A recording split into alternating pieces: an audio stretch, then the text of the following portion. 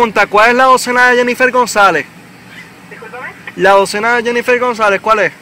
¿la docena de cuál? De Jennifer González.